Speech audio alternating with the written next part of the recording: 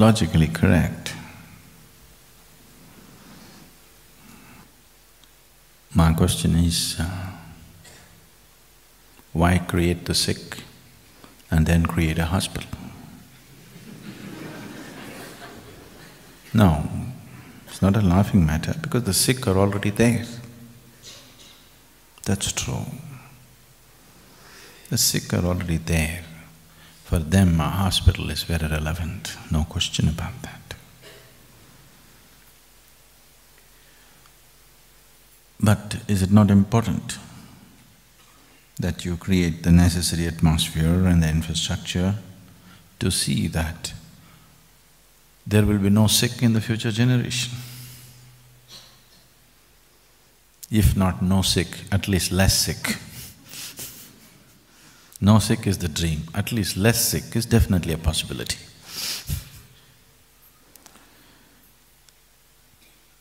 If you build or invest too much in too many hospitals, you'll pray that everybody is sick. because you put in so much money and so much effort into that. If we build too much medical infrastructure, we will be sitting and waiting, when will people fall sick? If you are an undertaker, what is your hope? Every day let at least one person die, isn't it? In your area. Definitely you're not planning to go out of business. Definitely you're not. Does it mean to say we should not have an undertaker's business? No, we need it because people do die.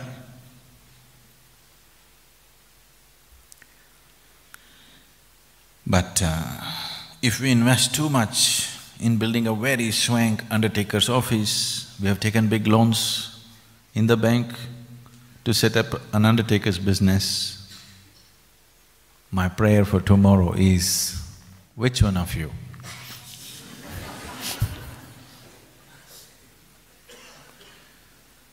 you've set up a simple business, it's okay. Let people live. When they die, we'll serve. We'll do something. Similarly, for the sick, it should be. When people fall sick, we must have something to back it up and take care of those people. But if you build enormous infrastructure which to cater to the sick, then after some time, if there are no sick, you will not like it you will wish for it. Somebody was arguing with me some time ago, a very religious person. The only way to go to heaven is we must serve the suffering people.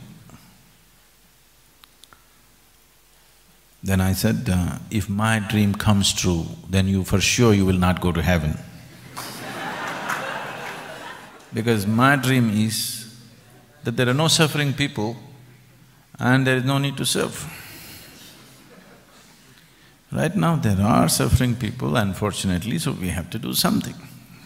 That's different. But if you set up like this, that only if you serve the suffering people, I will go to heaven, you're always wishing that everybody is suffering so that you have more and more opportunity to step on their heads and go to heaven.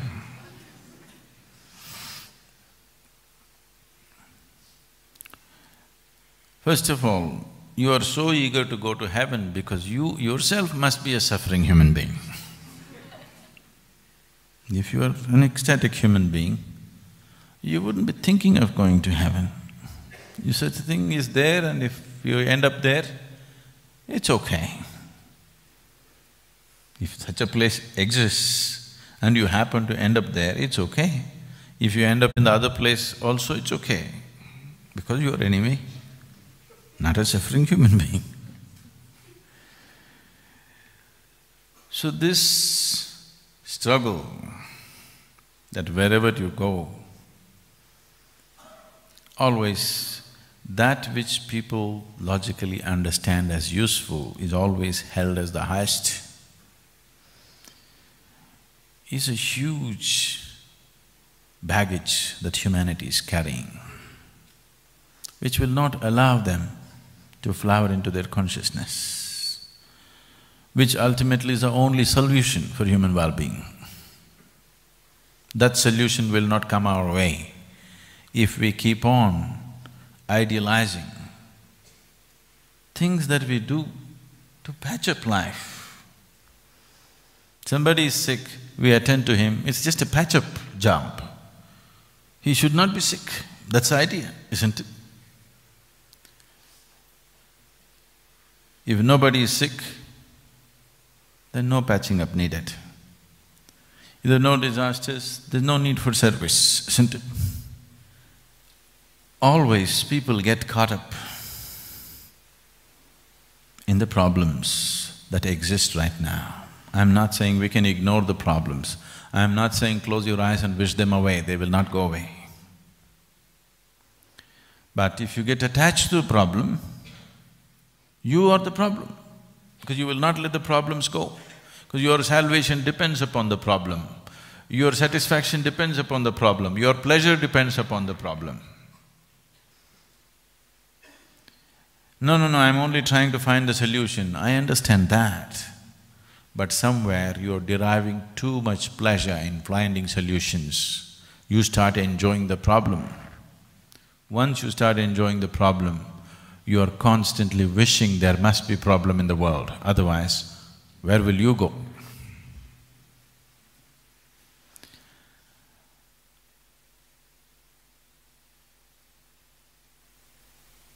What is needed is not small, small solutions for every problem. Yes, when somebody is in trouble, when somebody is moved into a corner, pulling him out becomes an important part of the work, a relevant part of the work, but that's not the real thing to do.